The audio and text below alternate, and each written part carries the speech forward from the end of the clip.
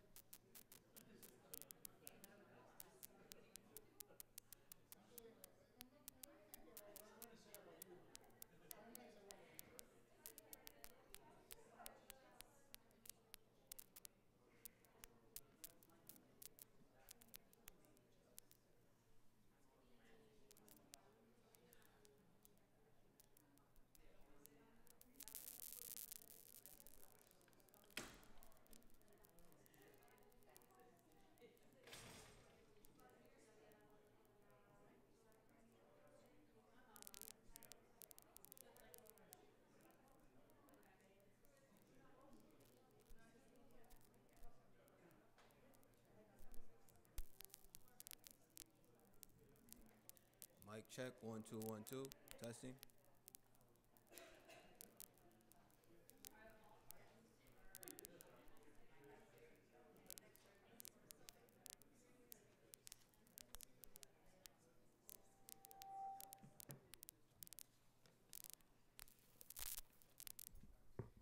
Welcome, everybody, to today's colloquium. Before we start, I have a few messages, as I usually do. So, um, the Hutchins Center Honors will take place on October 4th. You've probably been reading about it. There are posters around. It's a medal ceremony. And among the recipients of the Du Bois Medal um, is Ava DuVernay. Um, tickets are available at the Harvard box office. Next week's colloquium will be delivered by Myles Osborne, and he'll be speaking on Mau Mau Are Angels, sent by Haile Selassie, a Kenyan war in Jamaica. And now please welcome to the podium Alejandro de la Fuente. Um, he's a professor of Latin American history and economics, as well as director of the Afro-Latin American Research Institute at the Hutchins Center.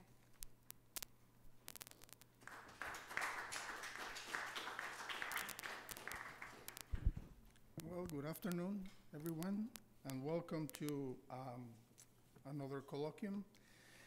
Today, I have the honor to introduce my colleague and uh, conspira- co-conspirator, uh, David Bindman. David is, of course, a member of the Hutchins family. He's uh, a rare fellow who keeps coming back, and we don't seem to be able to get rid of him in any way. David is one of the most distinguished and productive art historians of his generation. And no, this is not an exaggeration. While his early scholarship was concerned with British art, recently, and much to the benefit of the Hutchins Center, Harvard University Press, and my own Afro Latin American Research Institute, and indeed the world of art history, David's work has enlarged the scope of his discipline to encompass questions of popular art, race, nationality, representation, the role of aesthetics, and Darwinism and scientific racism. In the 1970s and 1980s, David focused on the re- reclamation and reinterpretation of such artists as William Blake, William Hogarth, and John Flaxman, culminating in his innovative study, Blake as an Artist. This volume was the first scholarly understanding of Blake as an artist as well as poet in the context of his time. Having withstood the test of time, it is now a classic uh, text of art history. Exhibitions and other publications on not only Blake, but also Hogarth, the history of sculpture, and 18th century caricature quickly followed. In 1989, David curated the British Museum's exhibition Shadow of the Guillotine, Britain and the French Revolution, which also led to the publication of a book. David's 1995 monograph, Roubiliac and the 18th Century Monument, published by Yale University Press and co-authored uh, with Malcolm Baker, earned the Mitchell Prize, which is often described as the equivalent in art history of, of a Nobel Prize. A social history of art, this work also served as something of a turning point in David's career. And after that, he began to give increasing attention to political, social, and religious themes that are now uh, central to his work as an art historian. In 2002, David's influential volume, Ape to Apollo Aesthetics and the Idea of Race, 1700 1800, was published. And that was the first time I actually learned about his work because of my own interest on, uh, on race and racism. In 2005, David Bindman and Henry Louis Gates Jr. resurrected the image of the black in Western art series. He and Skip were responsible for the editing and the introduction to 10 phenomenal volumes. If you have not seen this collection, go and take a look. This is nothing short of amazing. These were products of strong partnerships with other art historians, including our own Karen Dalton and Sheldon Cheek, who are sitting somewhere back there as if they had nothing to do with this, right? Now, with the companion volume, The Image of the Black in Africa and Asia, still hot off the press, David has plunged, much to my pleasure, into another companion volume, The Image of uh, the Black in Latin American and Caribbean Art, in which we are working together. David is tireless. I understand that he has begun work on yet another project. This has to be after the Latin America volume, okay? The Latin America volume has priority. This time inspired by his 2009 essay on 19th century artists' responses to Darwinism, a very interesting uh, topic. David taught for many years at the University of London and University College London, where he also served as head of the art department. He has written and edited many more books than I have managed to mention here, and more articles and essays that I can count. His scholarship and his teaching have been well recognized by more than a lifetime's worth of prestigious prizes, awards, grants, and fellowships. On top of all that, David is one of the most personable, good humored, and generous colleagues I have had the pleasure to work with. Please join me in welcoming our distinguished colleague, Professor David Bindman, as he speaks on one of the chapters for the volume on the image of Black in Latin American Caribbean art. David?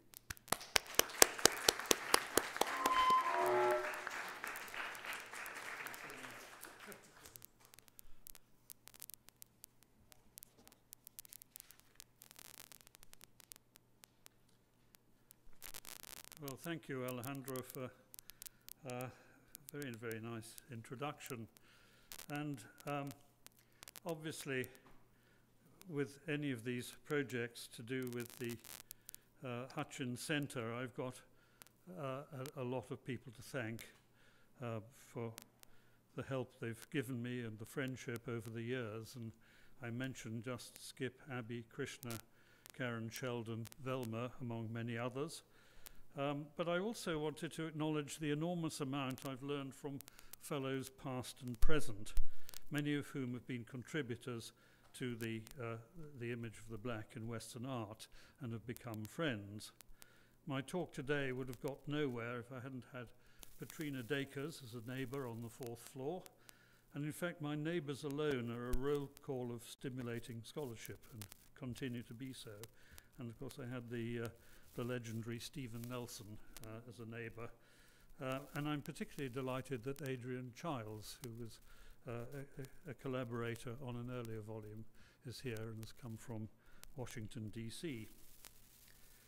Now, uh, as Alejandro has said, my task for this semester and the next is with Skip and Alejandro himself to bring out a second companion volume to the image for the black in Western art, this time entitled The Image of the Black in Latin America and the Caribbean, which has the rather nice acronym of IBLAC.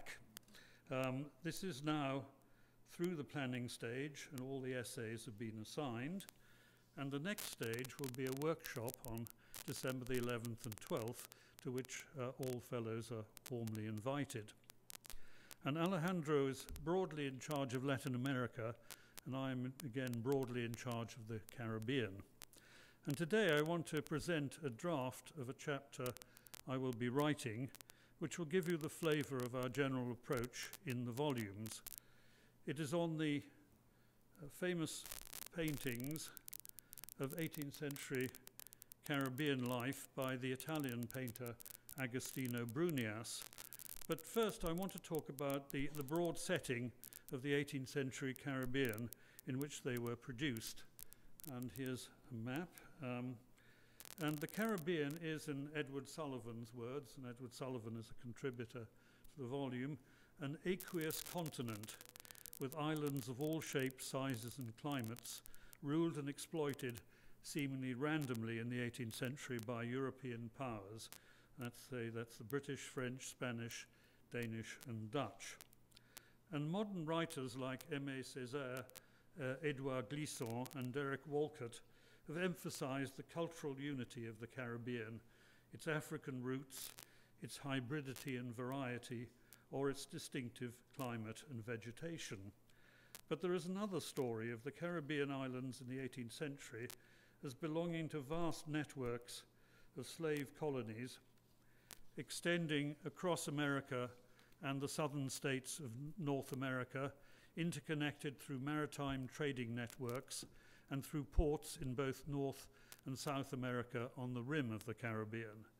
And if there's one thing that unites the Caribbean, it is movement through the sea roads between the islands themselves, but also between the islands and the neighbouring continents and the more distant ones.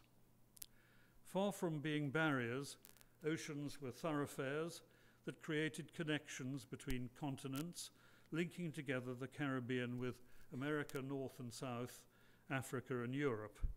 They were also battlegrounds between the European powers, and by the end of the century, the newly formed United States. The Caribbean islands themselves were also fluid, often dealing with frequent changes of rule by different European powers. Populations do not shift overnight, though new settlers might be added to the mix. There is also constant fluidity in the relationship between geography and power. If Latin America was largely Spanish and had been for some centuries before the 18th century, the Caribbean islands were always vulnerable to being taken over by different European powers or reduced to counters in a treaty negotiation. By the Treaty of Paris in, in 1763, Cuba could be transferred back to Spain by the British in exchange for Florida. By the same treaty, the British exchanged Guadeloupe, which they had recently captured from the French, for their right to retain French Canada. In the 18th century, the most important determinant of types of representation in the Caribbean was the occupying power. Spain was the dominant power in Latin America, but also had large islands in the Caribbean, like Cuba and Puerto Rico. Trinidad was Spanish until 1797, when we became British, but it had been occupied before then largely by French settle settlers from Martinique. Guadeloupe and Martinique were and still are French, but had periods under British rule. It is vital for an understanding of Brunias's paintings to note that Dominica, St. Vincent, and Grenada had been French. Um, there's Dominica. And you notice that Dominica lies between Guadeloupe and Martinique. And then you've got Anguilla up there, which is British, um, and uh, so on, and Barbados. All, all, these places have very complicated histories. Um, and in fact, Dominica, St. Vincent, and Grenada were ceded to Britain also as part of the 1763 treaty. They briefly reverted back to France from 1778 to 1783, uh, though the British government tried to exploit the islands economically, the settler uh, population of the, uh, these ceded islands um, became, and there's St. Vincent down there, um, remained largely French, and they were close to and supplied provisions to the populous nearby French islands of Guadeloupe and Martinique, which reach about 25 miles from Dominica. In the volume, we are proposing to emphasize not the differences, but the interconnections between Latin America and the Caribbean by choosing themes that, where possible, apply to both. One important theme is the visual culture of racial mixture, which is dominated in the 18th century by two major groups of paintings. The first is the remarkable phenomenon of casta painting in Mexico and also Peru, in which varieties of racial mixture involving um, European, African, and native peoples were expressed schematically in paintings in which each parent and offspring is depicted and identified according to their racial identity. And here you can see uh, Spaniard and black, which produces a mulatto, and then um, all sorts of variations um, uh, uh, up to something like the fifth remove um, uh, uh, are expressed in series of paintings. And then the other uh, broad group of paintings is the work of Brunias, who painted scenes from daily life in Dominica and St. Vincent. Also central to understanding is the nature of the economy sugar economies, whether in Latin America or the Caribbean, could make owners of sugar plantations very rich, and their profitability was, or was believed to be, based on employing large gangs of imported African slaves to work under extreme coercion. The bigger Caribbean islands like Jamaica, Cuba, and Saint Domingue, uh, which of course included Haiti, uh, supported large sugar estates under wealthy planters, as did smaller, more northerly British islands like Antigua and St. Kitts. But lesser Antilles islands, like Dominica and St. Vincent, were volcanic and hilly, which meant that sugar plantations could only flourish on the coast, and consequently were not often big enough to be very profitable.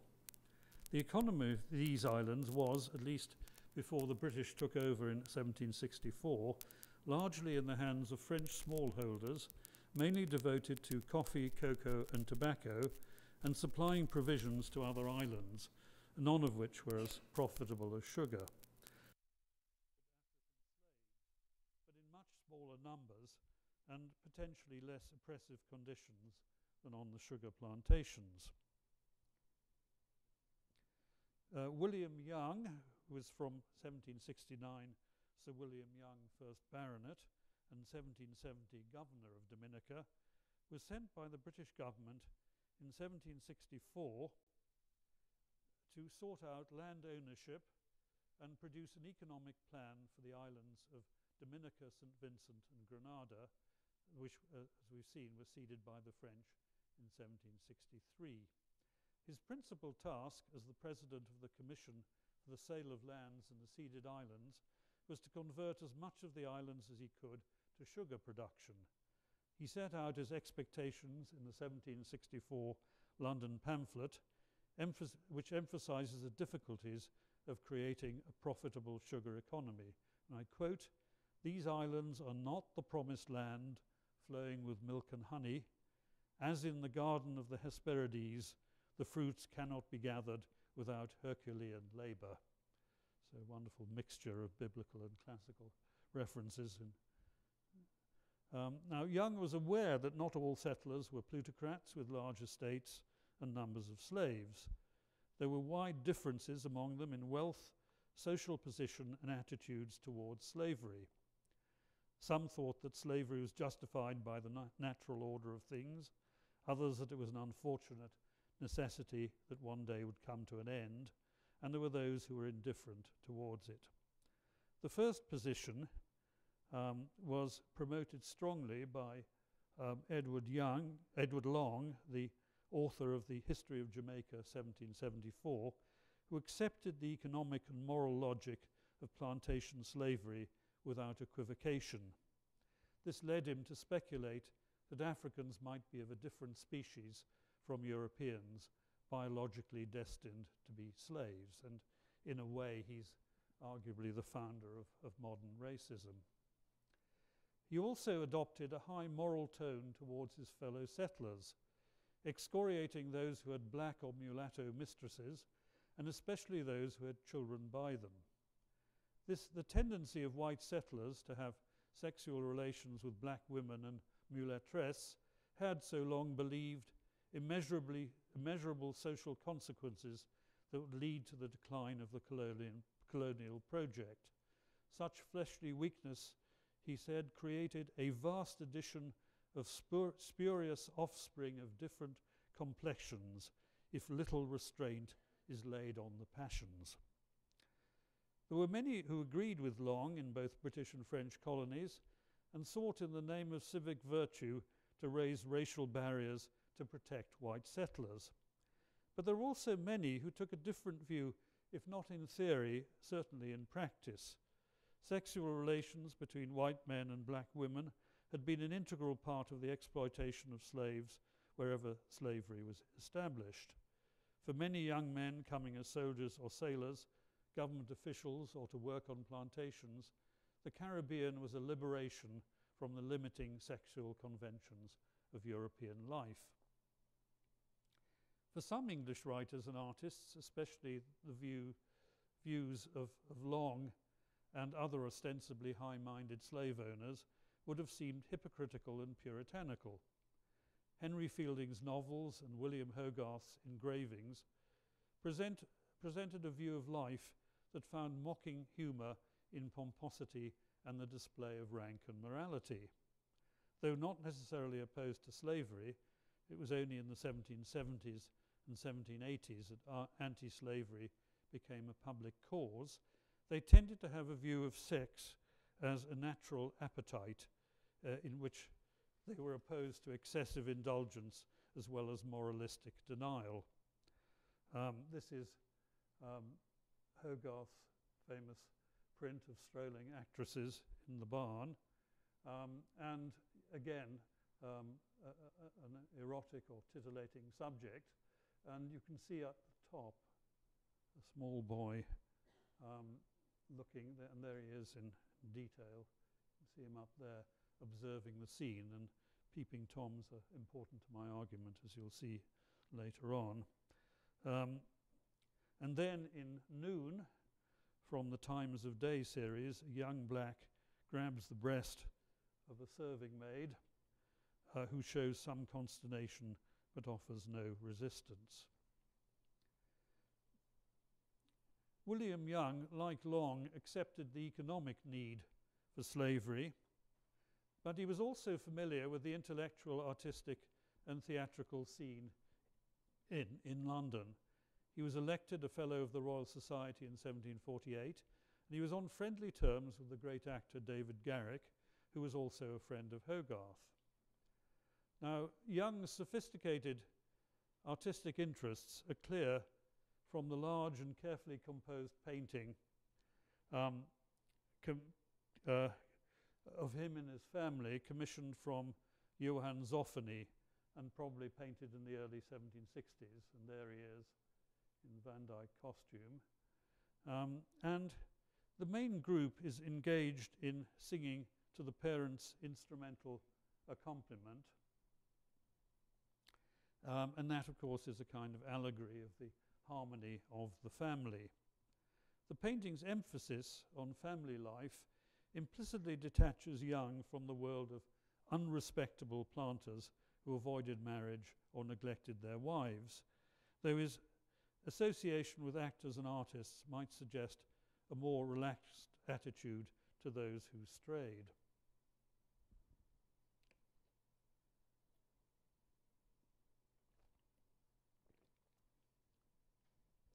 Now, William Young plays a very important part in this story because he brought with him uh, the young artist Agostino Brunias uh, to the Lesser Antilles in the late, uh, later 1760s. And Brunias produced over the years until his death a richly compelling group of paintings and engravings that provide an attractive view of life in Dominica and St. Vincent. Brunias also sought actively to sell his paintings and prints in London during the years from circa 1775 to 1784, trying where possible to reach wealthy people with Caribbean interests. He exhibited at the Royal Academy, um, and of the six uh, dedicatees of his engravings, and I show an engraving here, um, uh, at least three, including William Young himself, were large plantation owners in the Lesser Antilles. Interestingly, he returned to the Caribbean and eventually came to see Dominica as his home. As has often been observed, in Brunias's paintings, the central space in many of his uh, in many is occupied by a beautifully dressed mulatresse who radiates erotic authority. Such women were themselves the consequence of the sexual attraction felt by white settlers for black or mulatto women, and they were in turn exploited sexually by them. And I went on this weekend and saw a Kara Walker exhibition in New York, and I was very struck by how she's clearly um, very much concerned about the complexities of the, the sort of sexual dynamics uh, involved in, in slavery. Um, their dominant physical presence and their intermediate position between higher and lower social classes and different skin colours was an issue for both French and British settlers and those who administered the colonies.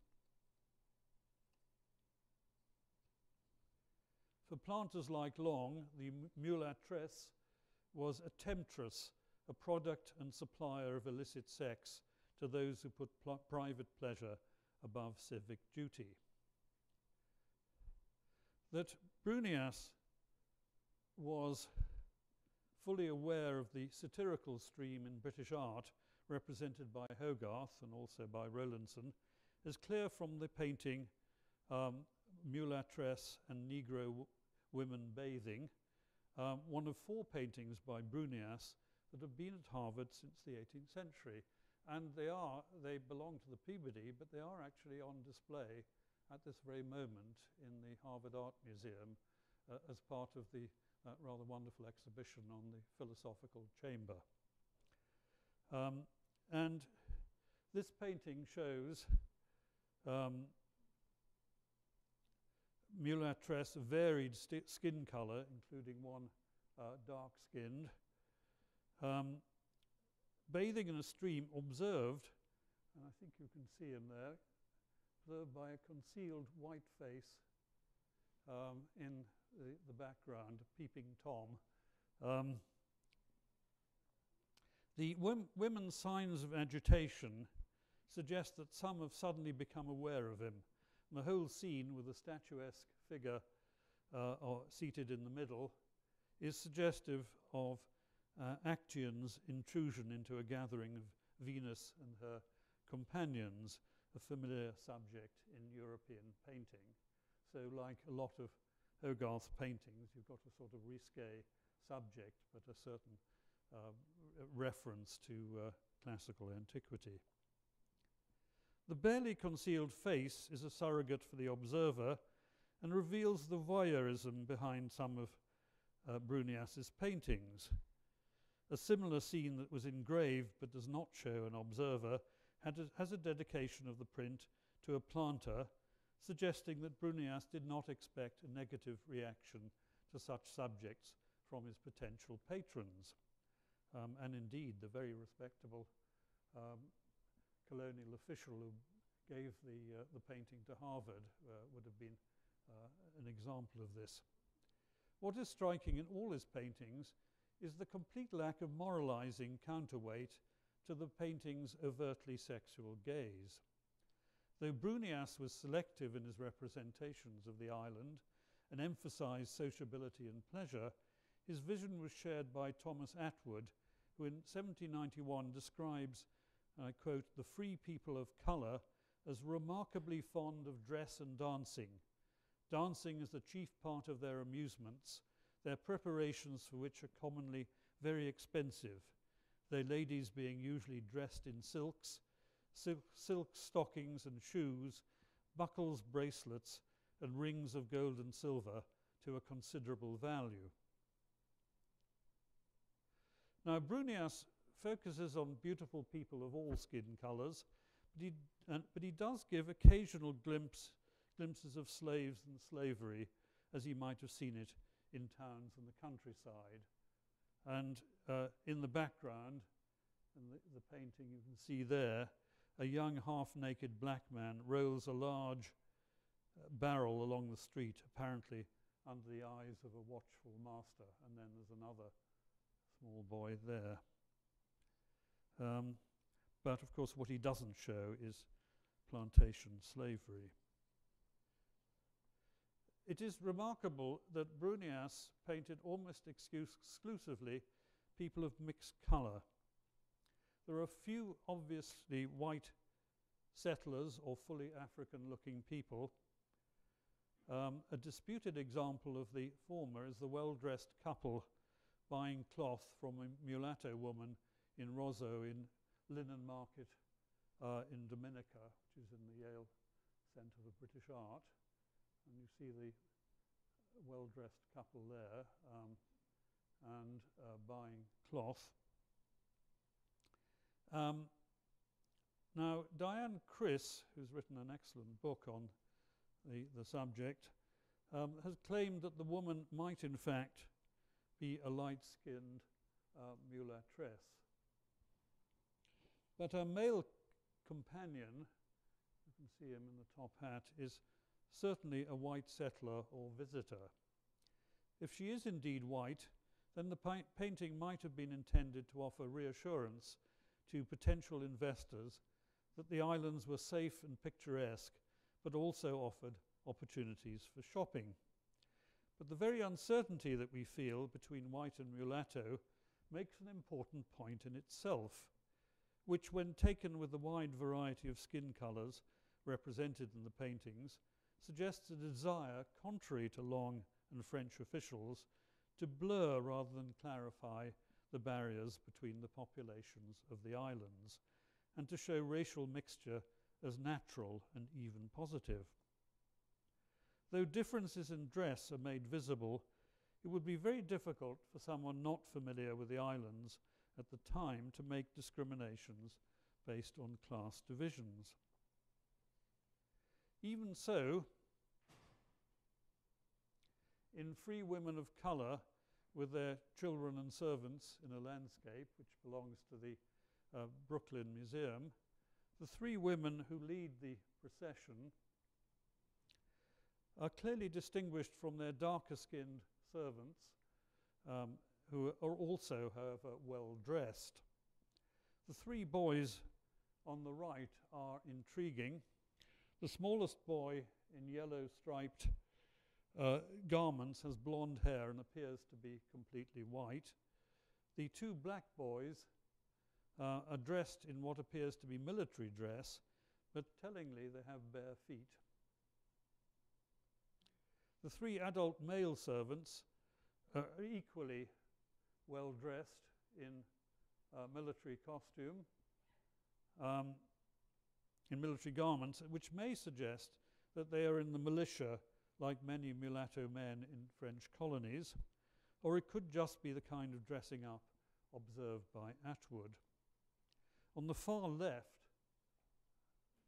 um, a small blonde haired boy is carried on the shoulders of a black nurse.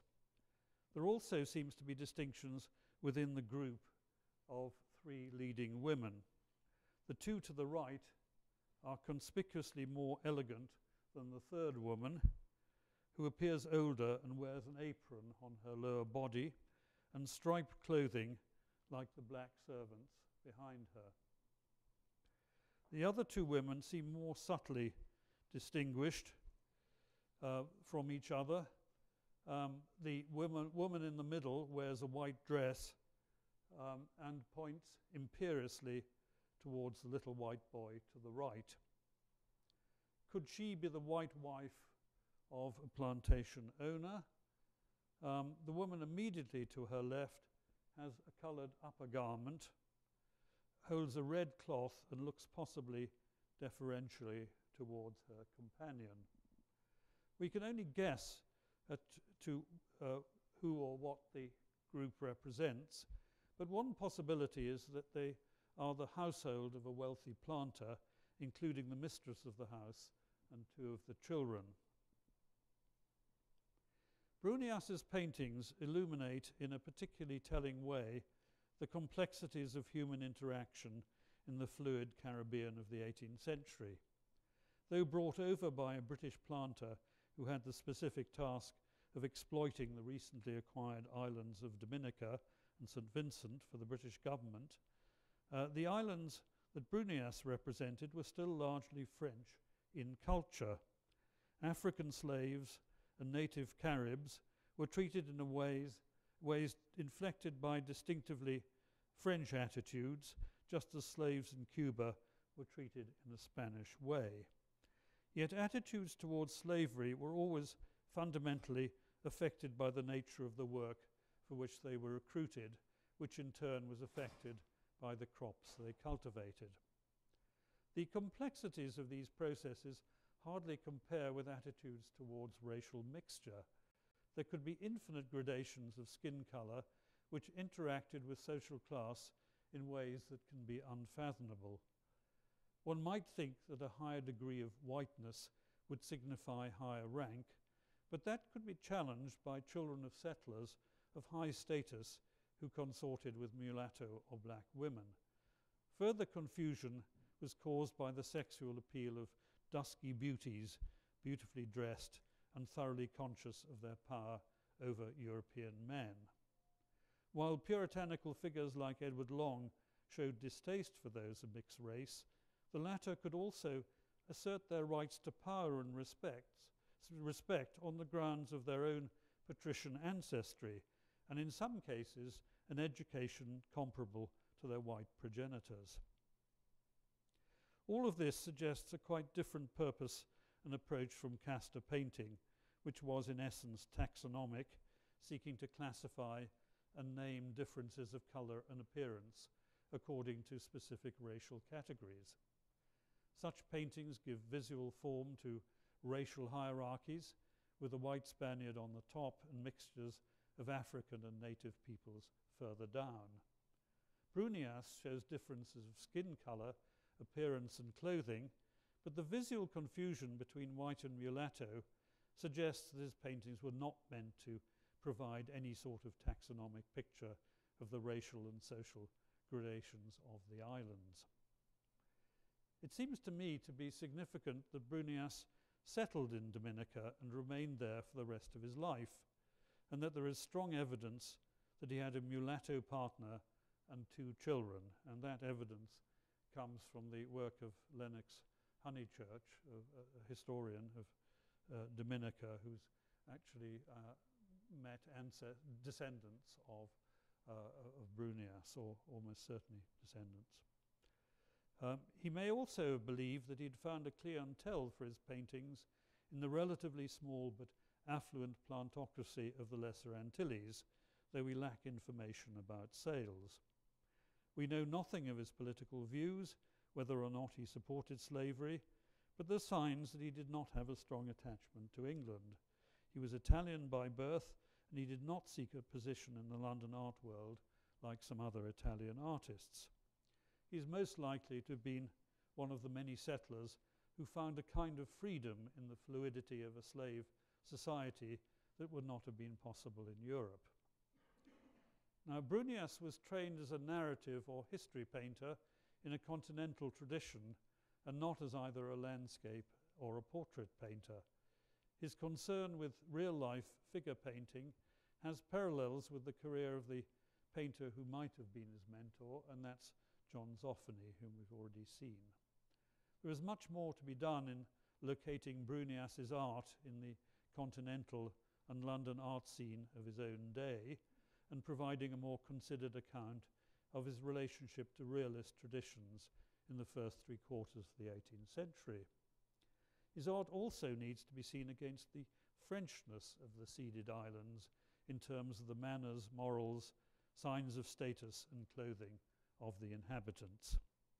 This further opens up the question of the texture of daily life in the Caribbean. How different was the personal display of slaves or free blacks under British, Dutch, French, or Spanish rule? Is the assertive mulatresse so prominent in Brunias's paintings a consequence of French attitudes that are not replicated under the rule of other nations? It is also clear from the work of Anne Lafont that Brunias had a strong influence on French colonial art in the period and on decorative arts. And there's a famous set of buttons after Brunias that are uh, supposed to uh, belonged to Toussaint Louverture.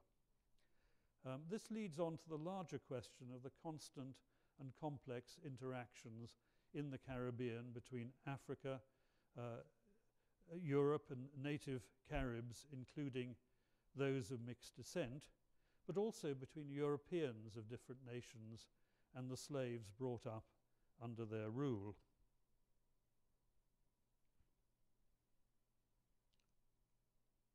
This difference is hinted at in Brunias's print, A Cudgelling Match Between English and French Negroes uh, in the island of Jamaica. Um, and uh, which suggests that the slaves themselves assumed a distinct identity conditioned by their owners, though it is not uh, uh, at all clear which, which are English or uh, French slaves in the image. I'd be interested to know if anyone can spot any clues to that. Um, and um, there is clearly some significance in Brunias's use of words in the captions to his engravings, and we can assume that they're broadly they are his own words. The word Negro is applied to the dark-skinned and obviously working class, while the lighter skinned are described as, uh, in one case, as West Indian, um, as in the engravings of washerwomen and flower girls, or free natives, or in one case, uh, there's an image of described as of a Barbados mulatto girl.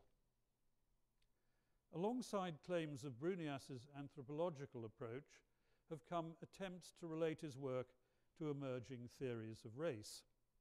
This is a problematic subject because although there have been studies of racial theory in the 18th century, including my own, less attention has been paid to their dissemination and how, why, and where it entered into common discourse. Of those discussed in this essay, the one person who might have been aware of the advanced racial theory of his time was Edward Long, but his knowledge would have been highly selective. He might have known of Linnaeus and Buffon, but it is almost inconceivable that he would have read Kant's writings on race of the 1770s. But the dissemination of racial theory from the 1770 onwards is a subject well worth exploring. Finally, there's the question of the interpretation of images of the West Indian colonies. As is well known, uh, it, it, that the truth effect of paintings is not to be relied on. Images are always mediated through the sensibility of the artist and the desire to sell her or his work, though how these manifest themselves is not always easy to see. In Brunias's case, we can confirm that the picture he paints of daily life in the ceded islands does broadly correspond to verbal, verbal descriptions of the time, but then he would have had a strong motive to create a benign vision of da daily life, either from his patron's influence or his desire to sell paintings to white settlers. I've argued that the latter motive was up, uppermost in his mind, but clearly in the pace, case of picturesque landscape, the attitudes implicit in the genre would have been in harmony with the settler's desire to see the Caribbean in an idyllic light. The artist's selective vision is always likely to prevail, but there are also degrees and kinds of selectivity. Slavery can be condemned or avoided, or it can be depicted as a natural and humane part of society. So much depends on the place depicted and the time. And events were shifting dramatically in the last quarter of the 18th century. The shadow of abolition hung increasingly over the slave economies of the Caribbean, and the rest restiveness of the slave and mixed race population was to catch fire before the end of the century, most notably on the nearby island of Saint Domingue. Thank you very much.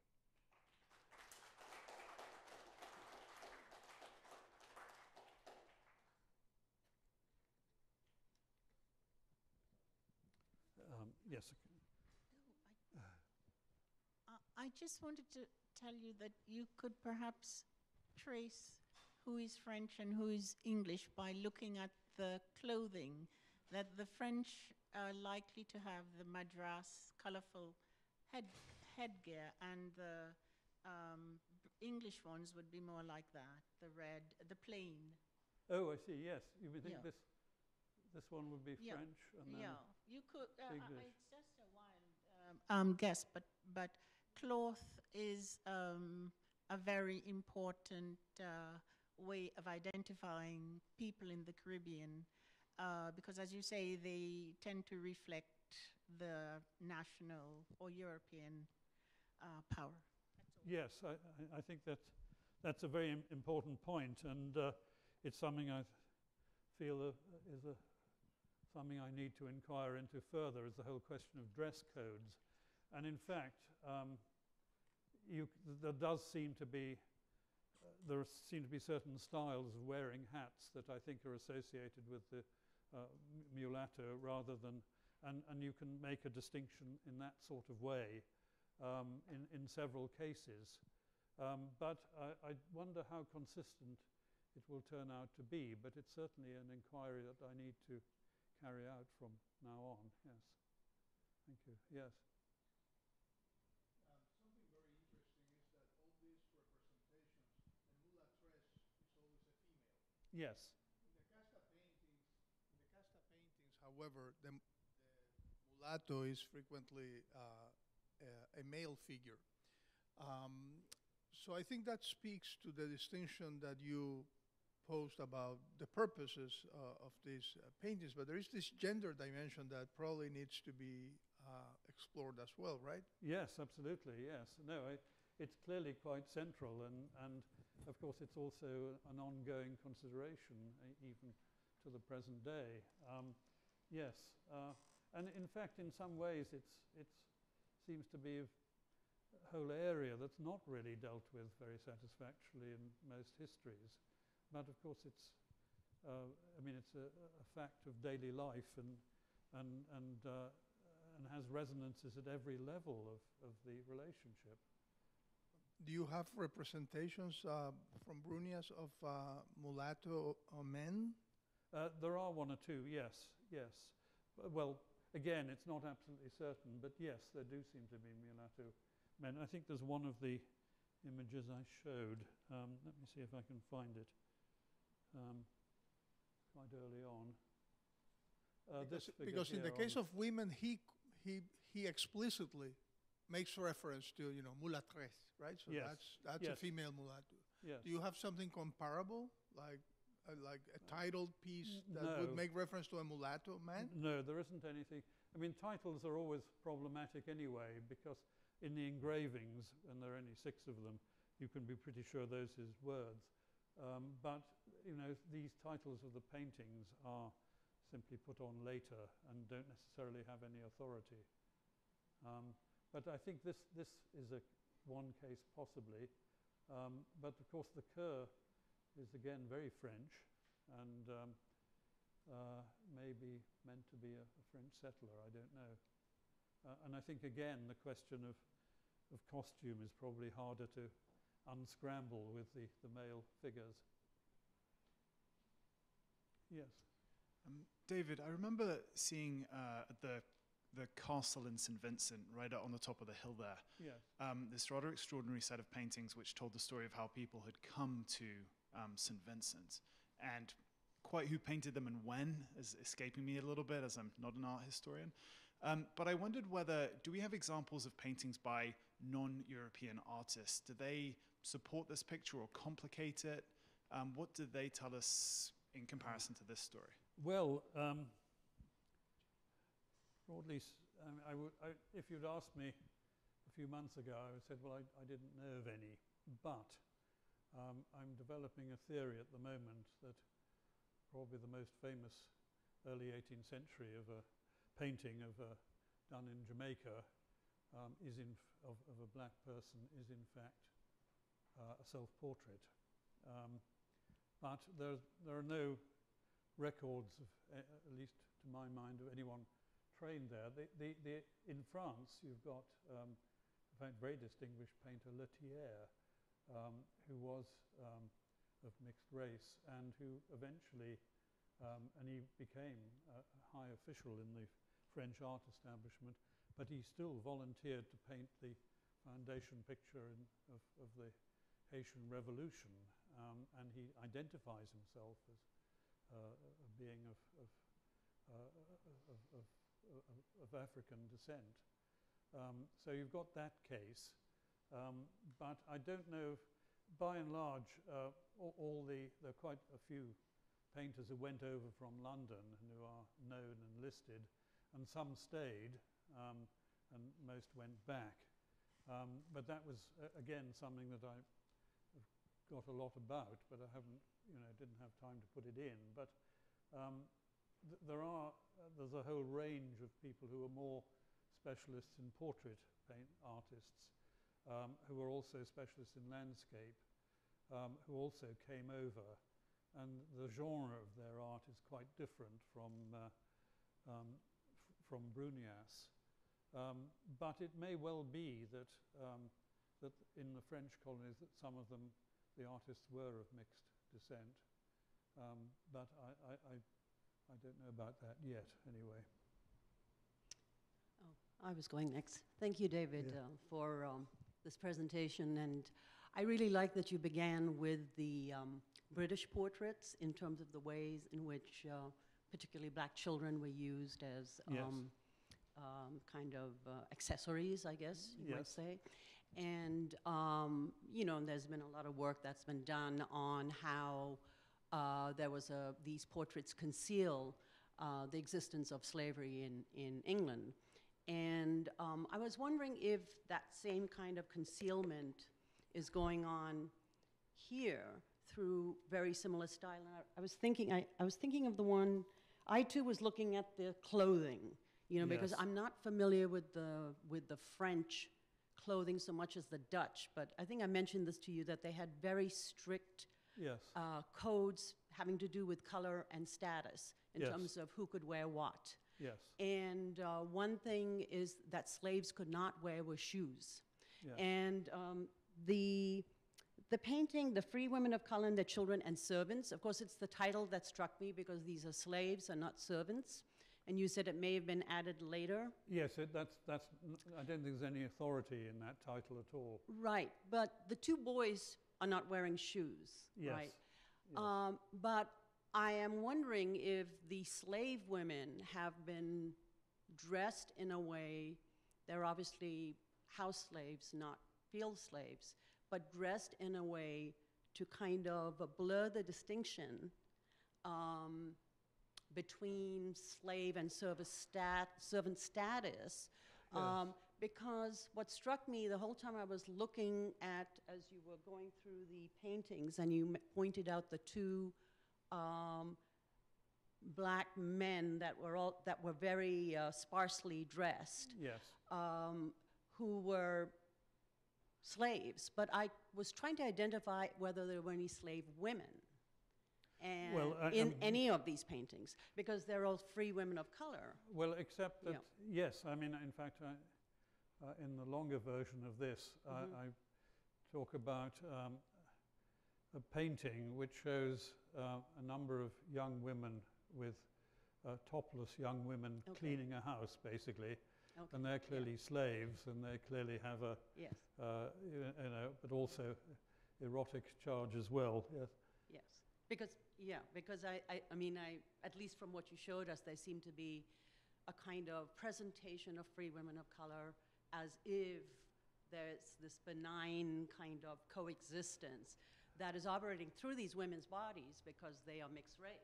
Well, I, I think that this is a, a big debate that goes through al- almost all the writings of white settlers at the time. Um, when uh, women were well dressed, was that a sign of, of you know, the uh, benign attitudes of their, the, the slave community, or was it actually a dangerous thing that would um, gi- uh, lead them to think above their, their, their social class. Um, so that's, I think, uh, always a, a, a- a problem for white settlers is, is how far to uh, allow display. Um, and in fact, the, what I'm also exploring is the, um, is the, the, the transfer from the French islands because it appears in the French islands shortly before that there were laws brought in to restrict the dress of the uh, of, of free women of colour, um, and that a lot of them moved to Dominica to get out, get away from those laws. But I haven't been able to confirm that yet. But that does seem to be a, a possibility. Yes. Um, but I, I think again, um, there's also the suggestion that. Uh, that, that slaves would wear the kind of insignia, in some sense, of the families who owned them. And it may be, that may account for certain kinds of clothing that they would wear so they would be identifiable as property of a particular family. Um, Thank you so much for this uh, beautiful presentation. I am very interested in the idea of comparison, which is related to what Alejandro was asking. You start your presentation by basically comparing the, um, the art that was being produced in Latin America, like the casta paintings, Yes. uh, with, the with what was being done in the Caribbean. And I would like you to um, uh, talk a little bit, if you can, about how to think about this comparison. How can we understand the art that was being produced in, in these two huge uh, areas? Of course, like there are many things that come to that, that you have mentioned already, like the idea of who was uh, who were the, the colonizers. In, in the case of Latin America, the, the presence of the indigenous population was a, a huge uh, was was very important. But how can we problematize? So you you mentioned one uh, similarity, which is this idea of miscegenation, and how can we think about it to tease out the nuances between um, Latin American art and Caribbean art. Well, I mean, you've, you've put your finger on what's probably the biggest single problem that we've got in doing this volume, um, because in a way there isn't such a thing as Latin American art. There are just so many different countries with different traditions. There's no, and there are different circumstances in each of these countries, as indeed there are across the Caribbean. And I've tried to draw a distinction, implicit distinction between Jamaica, which is more than a thousand miles from the uh, Dominica and St. Vincent, um, and with the, the, different conditions within the Caribbean. Um, and of course, Casta painting seems to, as far as we know, only really exists in Me Mexico and in, in Peru. Uh, but we may find things similar to it as we go on. But what we're talking about is, you know, in a way, a terra incognita um, for the kind of scholarship that we're doing because um, there's such a, a, a, range of different circumstances in Latin America as well as across the Caribbean that uh, whatever, what generalizations we can make, um, I, I, simply don't know at this point. And what, what do you think, Alejandro? That's right, yes. I mean, in a way, what we're trying to do is to answer that question, but also in the the strong expectation that we won't really be able to uh, do more than uh, get a certain way with any answer. Yes. Um, before I make my comment, this seems to be a mulatto uh, boy back there in the doorway. Uh, I don't know, because we were talking about are there any men? Um, but the, what I wanted to say was um, about both the, the Market Day, Dominica, and uh, the, the uh, Free Women of Color. Um, the, the free women, well, okay, uh, I, you, we had this in the exhibition in Florida. Oh, right, You yes. So ha- well, happy to have you write for our catalog. And this was probably the most controversial and popular painting. Is it, am I, can you guys hear Yeah, me? yeah. Sounds so crazy. Mm-hmm, yeah. Uh, it was the most controversial and popular painting there. And uh, the way we interpreted it, and maybe I'm wrong because I ne- uh, was that the woman under the red umbrella was probably a mu- mu- you know a mulatress, a, a mixed race woman, and that I wasn't sure that the man behind her was uh, her was her companion. Sorry. You, you were just there. Him, uh, the guy behind her was her companion, Uh, right? Um, and so, and also, I was wondering about the, the notion of the market day that, that perhaps there was a certain day that all of the black people could actually have their own market Uh, in, in the that- port Yes, there were, there were particular days, days, yes. and then who Yes. that they, they would be the only ones really allowed or uh, to come there. Uh, so this woman would be um, uh, part of that mixed race community, and that the white men um, were still are going to be able to come and and just and encounter them. So in other words, there's always this sort of wire type that you were talking Yes, about, uh, and yes. he he kind of uh, is embodies that presence of the the gaze of the white male and the availability of these women Yes. uh, to him at, and that type of person at, at, at any, i- i- whether they're bathing, whether in the market, or even the family of you, mula, the, the mulatresses or the mixed race uh, free people. I, I wonder whether those women are are owning the owning those slaves, and that the the women. Well, yes, Uh, yeah, so there's this whole thing about um, them, perhaps those children are her children with the, the implied white uh, planter or white man, you know. yes, I mean, it's certainly, I mean, um, uh, certainly I, I think that a But- wealthy mulatress Yeah, could, could she well could be le- a yeah. slave owner, and Yes. uh, and so it, it's just so complicated, and it's interesting that there, it's so freely sort of discussed, if you will, in this. And in the United States, we have the same thing going on, in, in, you know, in, Yeah. New Orleans and all of that. And and but in the 20th century, we don't talk about it. I mean, It's almost our shame in the black community. It's our shame that this kind of uh, distinctions. Um, it's it's a, still remains a fissure in our our, our society, uh, but Yes. um, i it's so freely d- bandied about here, and I still don't really understand what the whether he's he trying to attract colonists or is he trying to assuage anxiety about this this you know the menace of race in the colonies. I mean. It's really, it's very, I, I still don't get a, a read on it. I mean, do you have a, one, a- if you were to say one reason why you think he's obsessed with this, do you have a, Well, uh, uh, yes, I suppose what I was um, very tentatively uh, arguing was that Brunias, in some ways, is outside the, if you like, the colonial discourse because he's, first of all, Italian and also that he you know, settles there with uh, uh, uh, uh, and has children there, that in a way he may have, in fact, simply um, seen it in, uh, at face value, as it were.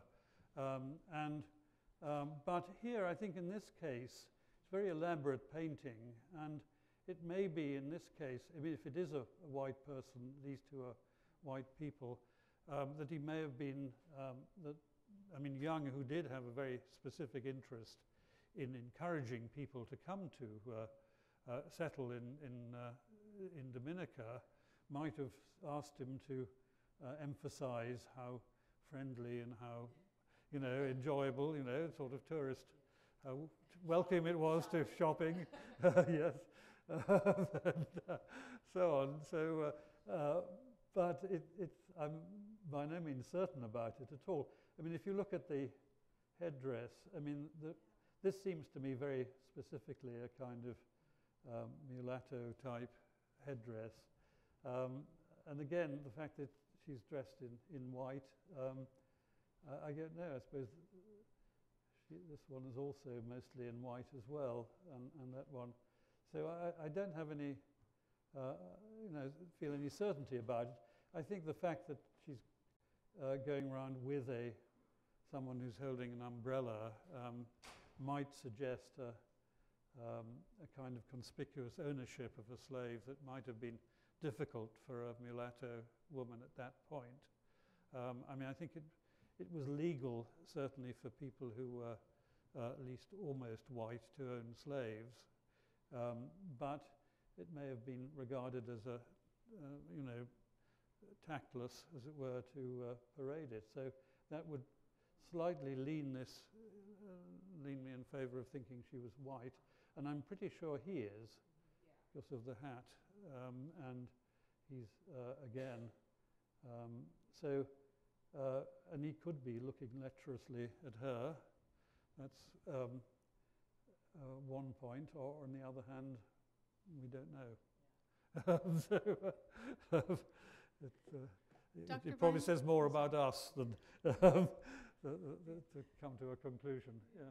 Dr. Bindman, thank you for that lecture. I'm an art historian based at McGill in, in Montreal, and I've worked tangentially on Brunias in trying to build a context around James Hakewill, who was in Jamaica slightly oh, yes, later, right? Yes, and yes. I'm um, really intrigued by your, your mention of the fact that Brunias almost utterly absents any scenes of plantation labor. And as you said, we're talking about a man who lived in the Caribbean for decades.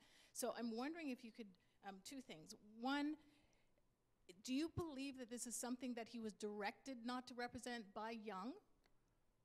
And because again, you're saying he's he's he's he's not the typical planter population himself. He's Italian and he's Catholic, so he's a so-called undesirable white at that time. He's not the ideal settler himself. So he's an outsider to a certain extent to the planter elite. And then the second part of that too then, in terms of erasure of the plantation, plantation labor, except for, as you pointed out, these signs in the city, like the man with the hogshead in the city street. Um, is there any indication that Brunias built patronage in terms of portraiture? Because so many of his works read as genre studies, like just meant to be a mulatto, a mulatto, Yes. a mulattress, a negro, a, a carib. It, are there portraits that he made of Well, specific that- planters? That, that's an interesting question. There is a portrait that used to be attributed to Zoffany, and um, someone I know who is an expert on 18th century port- portraiture has attributed to Brunias. Um, and I think it's possible he did do a few. Um, and he might well have, uh, this one of Young does, it's certainly of Young, and it's not Zoffany. Um, and it, uh, and I, I think it very likely is by uh, by Brunias. Um, but he didn't do, um, as far as we know, he didn't do any particular uh, a series of portraits of settlers or anything like that. Um, and I don't think that was really quite his thing, really. I mean, uh, uh, the, the, the kind of genre you practiced in the 18th century was really what defined you. And Uh, and if you're a portraitist, then uh, you would have to behave in a certain way and um, mix in certain circles and also um, advertise that you were doing portraits. Um, and I think if you were seriously interested in it, there would be quite a few more. Um, and it may be that he tried with Young and felt this was, these things would sell better or he would, uh, or enjoyed painting them more. Um, but my, my general guess is that he's much more of an independent practitioner than simply Young's painter, even though Young brought him over. And the, the, again, the fact that he goes back to London and tries to set himself up as a, a, and having engravings was a commercial decision. It was a way of publicizing what you did, um, just as Reynolds had prints made of his portraits. Um, that was a, way, a form of advertising and definition, self-definition. Um, so I'm inclined to think of him as someone who's more of a, a, a sort of independent businessman trying to find a way and also feeling that he had a better chance uh, in, uh, in the Lesser Antilles than he would have had in London.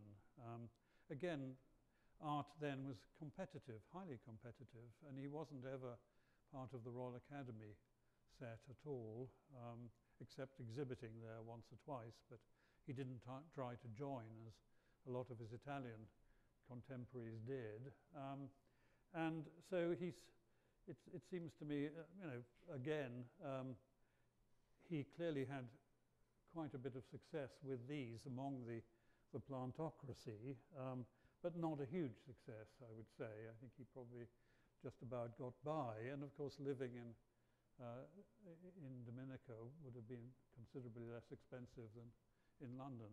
Um, and I think all these things, you know, would have been quite a complex sort of self-negotiation, if you like, for him, uh, where he would end up.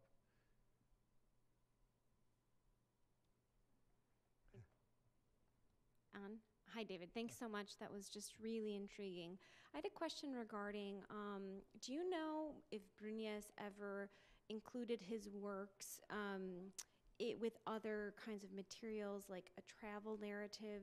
Did he ever um, put one of his engravings or sketches with, with in dialogue with, for example, a cartographer's map or um, a, a description, an ethnographic description of plantation life or ceremonies, you know, and what might this dialogue with other, if, if, it, if to what extent um, it exists, what might this dialogue with other kind of um, materials from this period say about what's going on?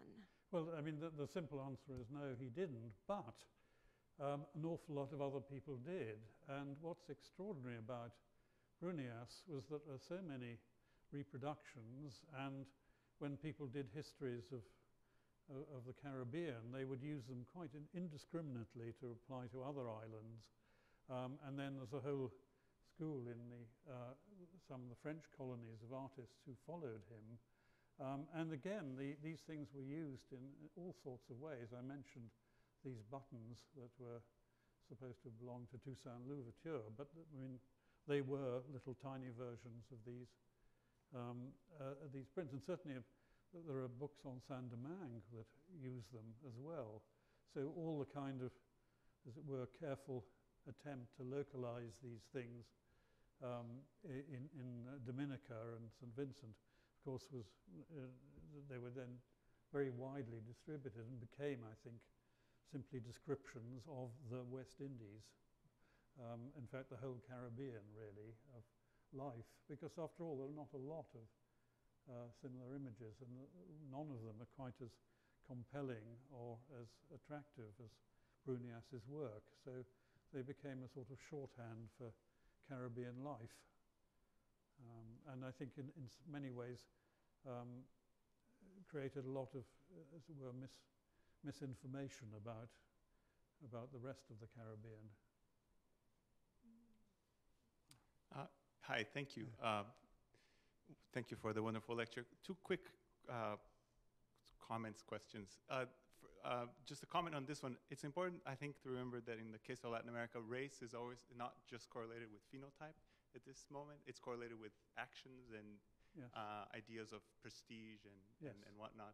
So the idea of, of a, of a, a, a elite woman being in public was very much frowned upon, which uh, asks questions as to w- if this is elite, an elite white woman or, or something else. Yes. Uh, especially if you consider the bucolic scenes of, of the domus of like harmony, right? On, on the more bucolic sort of like Yes. environment. Um, the other question that I had, or comment that I had, it struck me that the only scene of violence is among slaves. And I wonder if in his uh, larger work, uh, you uh, mentioned, it was mentioned earlier that the plantation is concealed, uh, but the scenes of violence among slaves are, are revealed. So I wonder if that says something about his well, work uh, well. yes. I mean, I mean, there's, that's of course controlled violence. The uh, cudgel matches, uh, uh, in, in a way, more like a boxing match than a, you know, uh, violence. Um, yes, I mean, I, I think it's. Um, uh, I mean, I, I, I think first of all, um, what we really don't know is is um, quite how different life was, what, what he would really have seen in, in Dominica. I mean, there were certainly some sugar plantations, and they would have probably had um, similar conditions to ones in the bigger islands. Um, but um, he may not have been particularly aware of them, and certainly wouldn't have wanted to emphasize them, I don't think. But um, I, think that one possibility is that um, that he, in some ways, felt he was really uh, uh, did associate himself with the mulatto population. Um, first of all, they, a lot of mulattoes, male and female, were um, people, sometimes people of wealth and, and, and social position because of their parentage, and, and uh, there were certainly mulatresses who were um, who had businesses and were quite wealthy at that point. Um, so the whole question of the um, uh, of the um, if you like the pushback against this mixed race population was also a fear of their power as well and their growing influence and in the French colonies uh, male mulattoes were often part of the militia and were there, you know, to defend the colony against possibilities of slave revolt as well. So they're in this very complicated position, and I think in a way it has a lot to do with the, the Haitian Revolution too, because in a way you could see that as what they were, um, the, the French authorities were frightened of, would be a kind of gradual um, taking over, as it were, of the, the, the, the islands by a very assertive mulatto population that could claim not only um, uh, uh, equal abilities, but also often equal education, equal social status. If your father was a, uh, a marquis de someone, and your, uh, you, you certainly, uh, a mulatto person might well feel that he was in a superior position to some public French official who was trying to run the, uh, the government there. And I think there's a lot of that social friction that goes on, um, in, in, again, particularly in the French colonies. Um, so it's a very complicated situation, I think. Um, and, uh, and of course, again, with these women who were very assertive and um, self-confident, um, this was again, I think, could be quite threatening um, and was seen as threatening to the social order, um, which is why you get these, uh, you know, very detailed books trying to lay out a kind of, of racial hierarchy in the late 18th century coming from the colonies, and which were, uh, and which an attempts were made to impose some of the rules, and saying that, for instance, people of mixed race could not have any part in the government or not take on certain offices um, or must um, wear certain clothing. And again, sumptuary laws were also lingering at the background, in the background of all these uh, societies, that you were identified yourself by the clothes that you wore. Thank you for your presentation, David. Hi, I'm over here. Yeah. Um, so there's this idea perpetuated in the Latino community and certainly in places like Cuba and the Dominican Republic of mejorar la raza or to better the race by marrying someone who is white or lighter skinned than you. And I noticed that in several of these paintings, the mulattresses are being courted by white or European men, like the man in the yellow jacket. Um, I was wondering if there was any instances where the mulattresses were being courted by African or darker skinned men.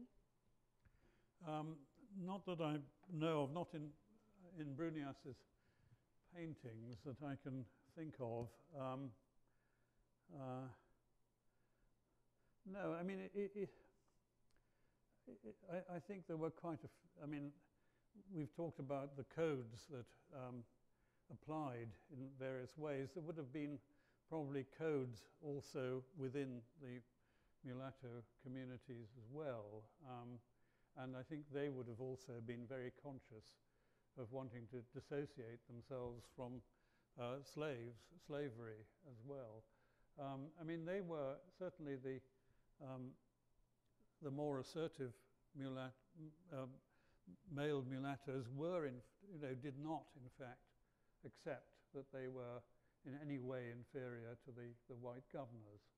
And I think this is all very important um, point, really. Is this, is for a, a, a, a person like um, Edward Long, this would have felt very disorderly um, and would have been too fluid. I mean, what rulers tended to want in the 18th century was very clear hierarchies.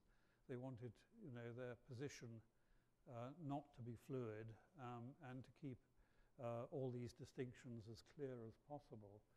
Um, and I think, of course, also if you're um, from, uh, uh, if you like, uh, upwardly mobile in the in these colonies as well, um, again, you would want to separate yourself from the people beneath as well as uh, assert your equality with the, the ruling classes. Um, but anyway, uh, I mean, the short answer that I don't know of any cases of that in any of the paintings.